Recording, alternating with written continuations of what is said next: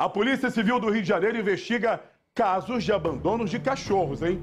Isso não é legal não, tá?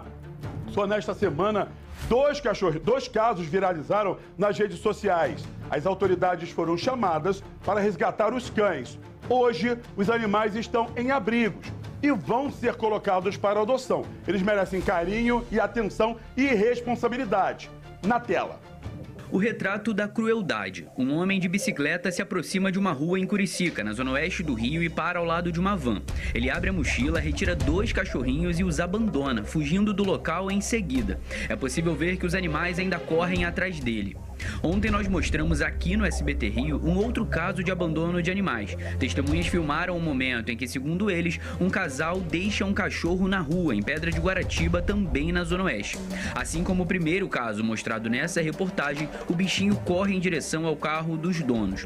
Moradores da região conseguiram pegar o animal e acionaram as autoridades. A Comissão de Defesa dos Animais da Câmara Municipal do Rio resgatou o cachorro. Trouxemos aqui para a delegacia, para a DPMA, a perita a médica veterinária examinou o animal, né, eu dei o depoimento.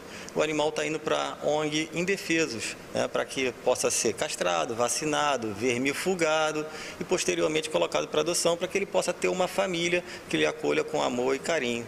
O motorista do carro foi localizado e prestou o depoimento. Ele negou que foi o responsável pelo abandono do animal. A Polícia Civil investiga o caso. Agora vamos tentar descobrir se ele está falando a verdade ou não.